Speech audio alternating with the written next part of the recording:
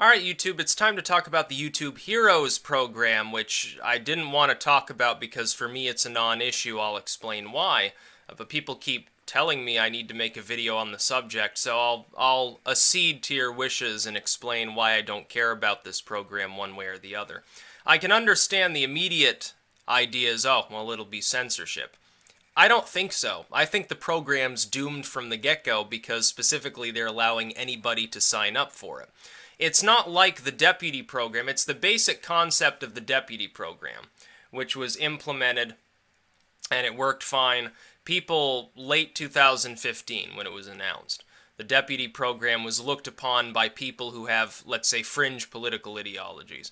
Uh, and they said, well, pretty soon there will be nothing but lamestream content on YouTube because the people here basically they're being paid to go around and get rid of content that the government doesn't like, that some religion doesn't like, or something like that. It's not mainstream enough or ad revenue friendly enough. It's too edgy, too many swear words or something. And it never happened. All of those channels that were complaining about it are literally still there. I can't think of a single one that was removed. Uh, I believe Monograph, talked about this, Dabu7. Their channels are still there. They were wrong about the deputy program negatively impacting them. Uh, really, uh, this shit about ad revenue impacts channels like that a lot more, I think, because of the content that they post. But the YouTube Hero program, uh, first and foremost, I think, as I said, it's probably doomed because the fact that they're allowing anybody to use it means that people who you know, they don't have an established presence, you don't know whether necessarily they really care whether your uh, their channel gets deleted, might grab this, uh, use this program for ill reasons, go and mass flag people they don't like on a political or religious basis. Now, if those people especially are YouTube partners like I am, they're shielded from it. It's not going to affect us. It's not going to affect my channel if somebody false flags a thousand of my videos. They'll get reviewed. They'll find no offending content. The person will be removed from the Heroes program, and their account ends up being the one that gets destroyed.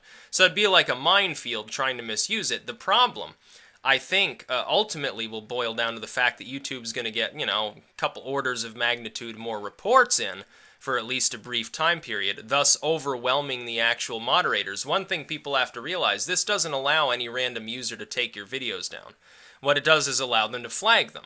But you can already flag anybody's videos that you want. Nothing changes. The only difference is you can do it en masse. And the only purpose of that uh, that I can think of is a person's channel is specifically there only to abuse other people or all it is is like, you know, a spam porn channel or something like that. And thus it makes more sense to let somebody flag, you know, a hundred of their videos at a time just so it gets knocked offline quicker. And I can understand that. In principle, it's a good idea. What I wish YouTube would have done, I think this would have made more sense, is only allow people across a certain subscriber threshold who have been on YouTube for a certain amount of time and who are partners and or verified use this. I think that would have been the better way to do it because people with an established presence on YouTube aren't going to fuck around with the YouTube Heroes program and endanger their own channel. It's just not going to happen, especially if the person's making money indirectly or directly through YouTube. They're using AdSense. They do, or they do what I do, Patreon, and I talk about my books here. People buy them sometimes when they're my subscribers. You think I'm going to abuse the YouTube Heroes program and potentially get kicked off YouTube? It's never going to happen. And I probably wouldn't use YouTube Heroes anyway, to tell the truth. I'm too busy making content to really worry about people's abusive comments or whatever. Another thing you've got to understand is that once the novelty wears off, the untold thousands of people that probably will at first use this, some of them will get banned very quickly within the first day or two because they'll attempt to abuse it, or they're too stupid to know exactly what they're supposed to be flagging. They'll try to force flag things out of their way, they'll get kicked off, maybe their channel gets removed, and they rage quit. After a while, when the novelty wears off, though, it'll become a vestigial program. It won't be fun. Uh, the idea of, oh, well, you'll get to test out new features on YouTube quicker than other people. That novelty is going to wear off pretty damn quick. It'll be like the deputy program. Probably half the people that signed up for that once they got the invite never carried through with it and half of the rest probably petered out over time. They get less and less active. That's what typically happens with some, such a partition on a site, unless it's intrinsic to the site itself. I don't see it going anywhere. The reason why I'm not concerned, thus, is twofold. Number one, if anyone tries to fuck around with this program, it's probably them that gets kicked off. They're not actually removing anybody's content, they're flagging it. But if you flag somebody improperly, you've already got a problem. You, you can already get kicked off of YouTube for false flagging somebody's material that's uh, itself a breach of terms of service. Whereas if the person's material isn't offending, they're not in breach of the terms of service. Anybody that thinks that this is going to lead to a massive flagging war is only right in the sense that you'll get a lot of dunces that very quickly will sign up for this program and attack one another on a political or religious basis and get themselves banned.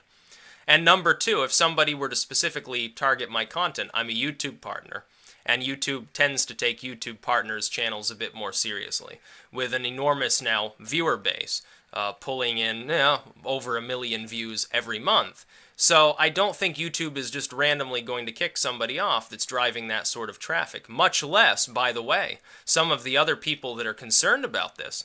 You've got Molyneux or, or RamZPaul or somebody like that, or Dabu7. Some of these people have 10 times as many subscribers as I do. I don't think they have anything to worry about. PewDiePie appears to make some video about this in a sort of half-joking way. He seems to be pissed off at the existence of such a program without really caring too much. And that's essentially where I stand. Uh, who gives a fuck? It's not going to mean anything. Long term, it's going to be a drop in the bucket of actual number of users using it. Probably nobody towards the end because YouTube, to its great chagrin, might find out that a lot of people just use it in order to abuse its functions, in which case it doesn't actually serve a purpose. And you can bet that extremely politically and socially motivated people probably will do that. They will purposely attempt to use this application specifically to clutter it up so badly that it gets taken back down because they don't want that kind of censorship. And I will say this it is technically censorship. But the thing is, the sort of content that's going to be targeted is already against the rules of YouTube. The censorship is already there. This is simply a mass flagger which predominantly is going to be only capable of being used for videos. So if you got like no videos, you just comment, you just have an account to be able to watch like the over 18 shit or something. You, know, you, you watch lesbians kissing or something like that. Or if you're a content creator, you don't really comment on anybody and you don't even talk about edgy topics. You got nothing to worry about. If you're a YouTube partner, you probably don't care because you're already protected. Uh, anybody else, okay, well, maybe you get flagged at some point. So simply in, instead of calling somebody a fucking retarded moron or something like that, use some other sort of language if you're that worried about it. And yeah, YouTube is a bunch of adults at this point. It's no longer like the tween site or anything like that. I do think that perhaps YouTube should scale back uh, really the ferocity uh, of its of its censorship. I do think, for example, uh, some of the classifications of material, like the dis disgusting, like gory material. Why can't it be on here?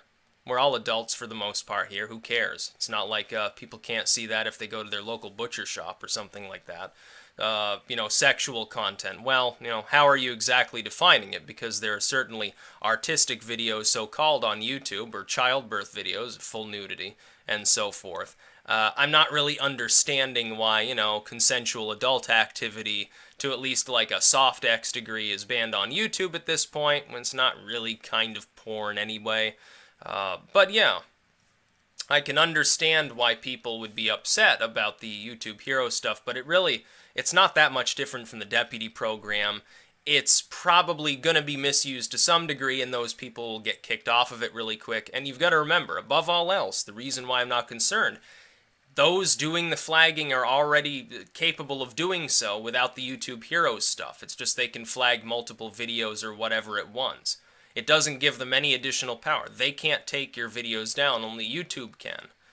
I don't think there will be that many people who really have the time or the inclination to simply rove across YouTube when many people just use it as a jukebox or something to that degree anyway uh, to actually rove around YouTube and go through years and years of old comments just to find dirt in order to flag it. Okay, maybe there will be a few Dolores Umbridge style individuals who take it upon themselves to conduct some sort of daily holy crusade on YouTube for the glory of, of keeping the site clean. more content is uploaded than even 10,000 people could possibly reasonably comb through at any given time. It's just not going to happen. YouTube's going to remain dirty. It's going to remain somewhat offensive and politically incorrect. And there's really nothing that YouTube itself can do about that short of shutting the site down. When they come to this realization that it's a site comprised of adults, that it's a site largely comprised of people who want to use it as an avenue specifically to speak about things they might not necessarily speak about in in company with others in real life, then they will finally realize the true power of YouTube.